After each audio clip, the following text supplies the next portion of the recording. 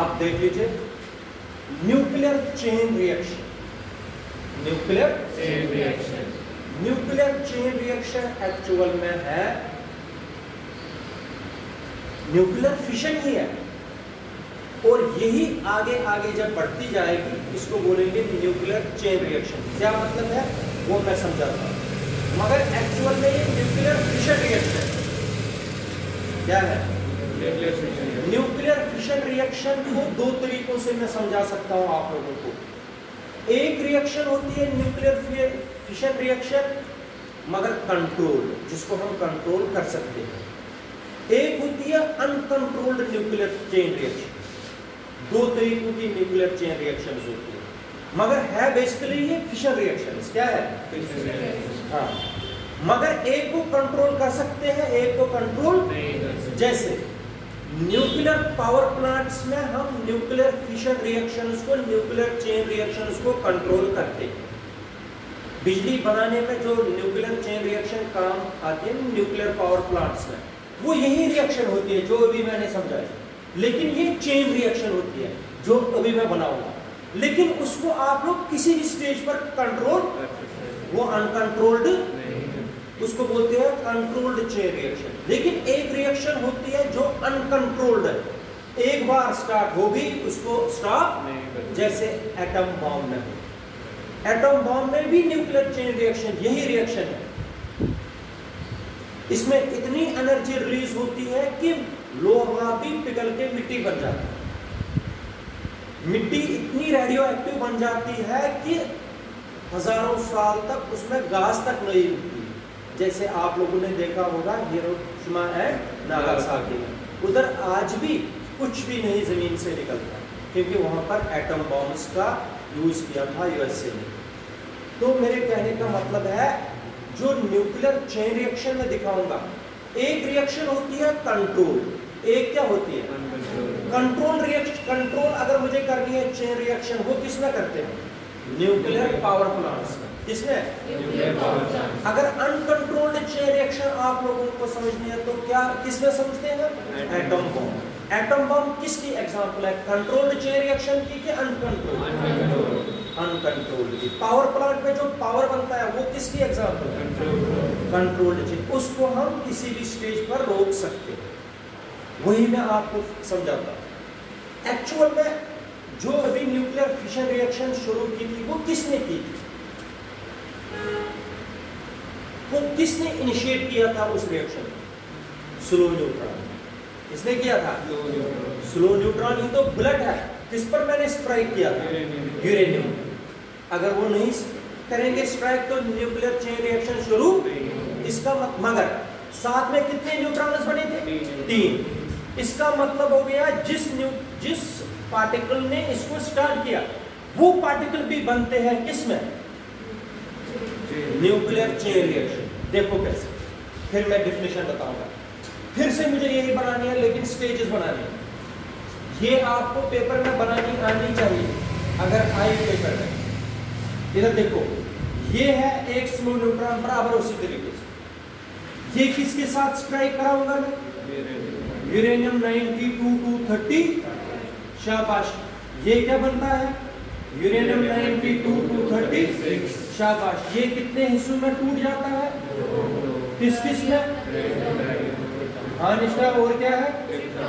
Barium और krypton आप मुझे बताओ, कितने न्यूट्रॉन निकले थे? तीन न्यूट्रॉन निकले थे।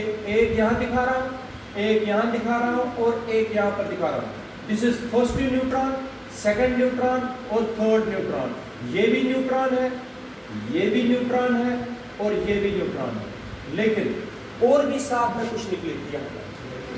एनर्जी वो एनर्जी मैं यहाँ पर दिखा रहा हूँ प्लस या यहाँ पर।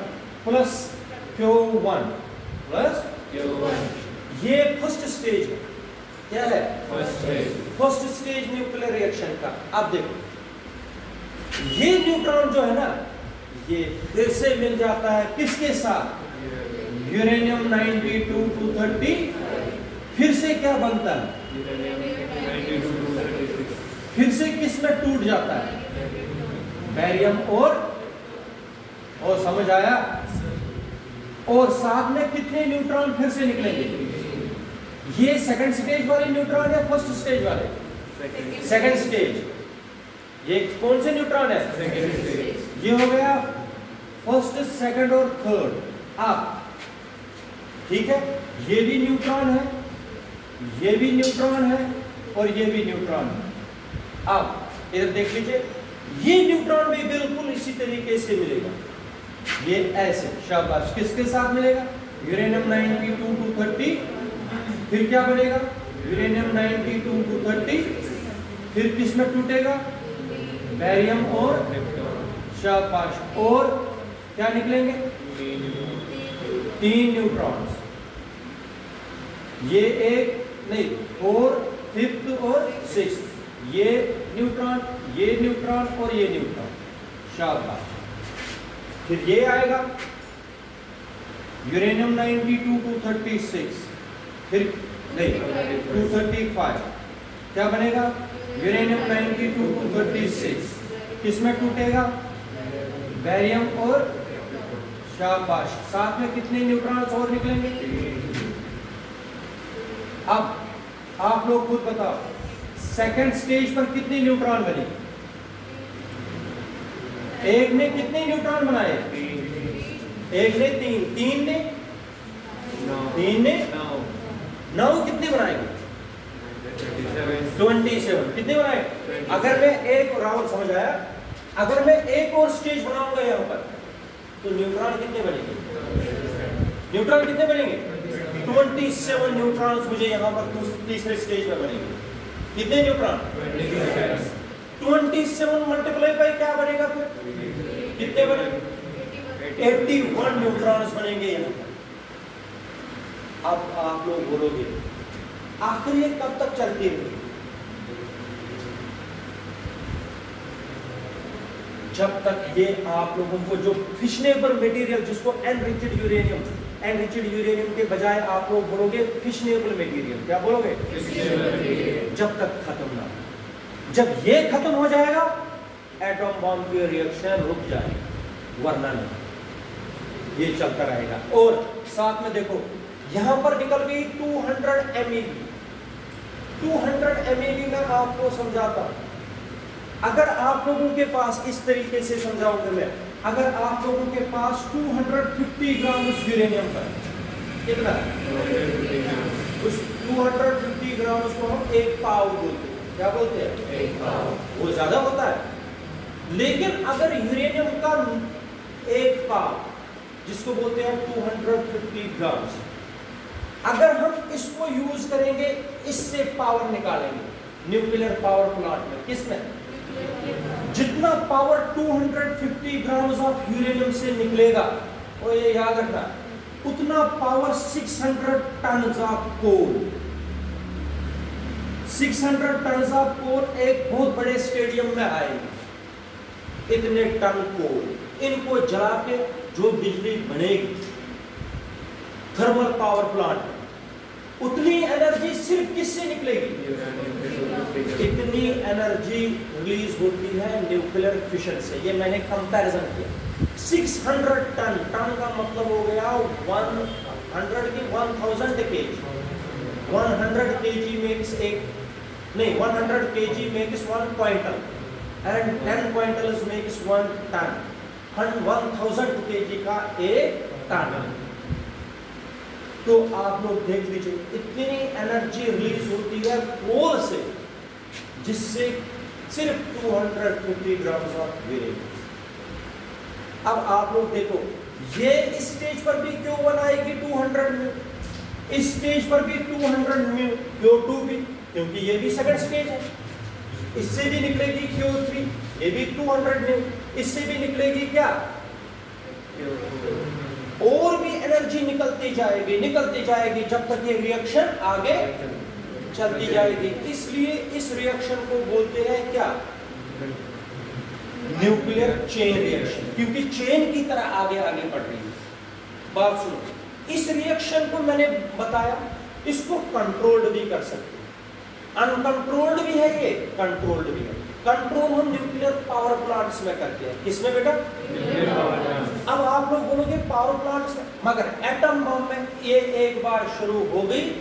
फिर इसको हम रोक जब तक पूरी डिस्ट्रक्शन करके जब तक ये खत्म नहीं होगा फिशनेबल मटेरियल तब तक ये चलती रहेगी और जो इसके एनर्जी से जो डिस्ट्रक्शन होगी वो तो होती रहेगी। उसको रोक नहीं पाएगा। क्योंकि ये एनर्जी है जो लोहे को भी पिघलाएगा मिट्टी को भी बंजर बनाता है। इंसानों की तो बात नहीं। तो इसका मतलब है एटम बॉम्ब जो है it is an example of uncontrolled chain reaction nuclear fission reaction जो है ना uncontrolled that is that is present in atom bomb uncontrolled अब आप लोगों को मैं बताता हूँ कंट्रोल कैसे करते हैं न्यूक्लियर रिएक्टर न्यूक्लियर रिएक्टर में क्या होते हैं? कैडमियम की राड्स होती है। क्या होती है? कैडमियम की राड राड्स होती है। वो राड्स न्यूक्लियर पावर प्लांट्स में दबाए जाते हैं जिस वक्त इनको स्टॉप करते हैं। राड्स को दबाया जाता है प्रेस किया जाता है। वो राड्स चली जाती है न्यूक्लियर पावर प्लांट्स के अंदर। उनमें क्या क्वालिटी होती है? वो जो सेकेंडरी न्यूट्रॉन्स हैं उनको एब्जॉर्व कर क्या? अगर मुझे मुझे कंट्रोल्ड रिएक्शन बनानी अनकंट्रोल्ड नहीं करनी है। जितनी मुझे एनर्जी चाहिए, वो लगातार उतनी ही चाहिए। इसमें बढ़ रही है मुझे ऐसी एनर्जी नहीं चाहिए। मुझे 200 म्यू का स्टंट है 200 म्यू चाहिए। कितनी? देखो क्या किया जाए कैडमियम राड को दबा के रखा जाता है। ताकि वो तीन में से दो इलेक्ट्रॉन दो न्यूट्रॉन हमेशा एब्जॉर्ब करते रहे। क्या करते रहे? जब वो दो न्यूट्रॉन्स को एब्जॉर्ब करेंगे आगे कितने कितने न्यूट्रॉन बढ़ाएँगे रिएक्शन में? एक, ये ये फिर से कितने देगा? तीन। तीन में से कितनों को एब्जॉर्ब करेंगे? फिर से कितना रहा? इस तरह हम रिएक्शन को कंट्रोल अब आप लोग बोलोगे, सर, हमें न्यूक्लियर पावर प्लांट को रेस्ट देना है, उसको रोकना है रिएक्शन तो कैडमियम रॉड्स को पूरी तरह दबाया जाता है। वो सारे सेकेंडरी न्यूट्रॉन उसको क्या करेगा? एब्जॉर्ब रोक देगा। आगे बढ़ेंगे। मगर ऐसा नहीं होता है। किसमें एटम बॉम्ब एटम बॉम्ब में एक बार रिएक्शन शुरू हो गई। पहले स्टेज पर 200 म्यू एनर्जी निकल गई। ये बड़ी खतरनाक एनर्जी है। सेकंड स्टेज पर तो उससे भी डिवास्टेटिंग है। थर्ड स्टेज पर तो उससे भी।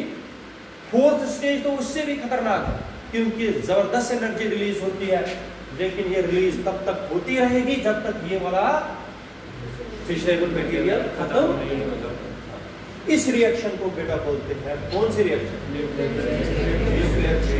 इसीलिए मैंने आप लोगों को बोला, ये वाली रिएक्शन आप लोगों को बनानी ज़रूरी है, जो कि नहीं आएगी बनानी। पेज को ऐसे कॉपी को ऐसे बनाना है और ये एक पेज पर बना के रखो। किसी भी पेज पर बना के रखो, फिर वहाँ पर ये बना बना दो। ये ऐसे पेज को बनाना। क्वेश्चन है एक्सप्लेन न्यूक्लियर चेन रिएक्शन मैं आप इसका इसीलिए मैं आप लोग देखो ना, आप लोग किसी न्यूक्लियर फिशन यहाँ पर न्यूक्लियर फिशन आएगा तो न्यूक्लियर यहाँ पर लिखो। मगर ऐसे बनाना यहाँ से यहाँ पर लिखा होगा मैं न्यूक्लियर चेन रिएक्शन होती है। ऐसे बनाना ऐसे? दो पेज छोड़ देना उनके लिए। ये बनाओ ये रिएक्शन बनाओ इसी तरीके से। बनाओ करो। न्यूक्लियर फिशन के ये वाला छोड़ दो यहाँ से शुरू करना है।